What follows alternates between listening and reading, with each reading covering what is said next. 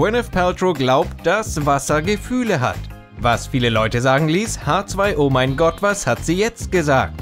Ja, angeblich hat Gwyneth auf ihrem Goop-Blog geschrieben, dass Wasser Gefühle hat und dass das Benehmen der Menschen die molekulare Struktur des Wassers ändern kann. Anscheinend studiert Gwyneth die Arbeit des japanischen Doktors Masuro Imoto, der angeblich an diese Theorie glaubt. Die Schauspielerin hat in einem Buch von Imoto gelesen, wie Negativität die Struktur des Wassers verändern kann und wie viel Einfluss Worte und Musik auf die Moleküle haben. Blöderweise erzählt Gwyneth etwas, das gegen physikalische Gesetze verstößt.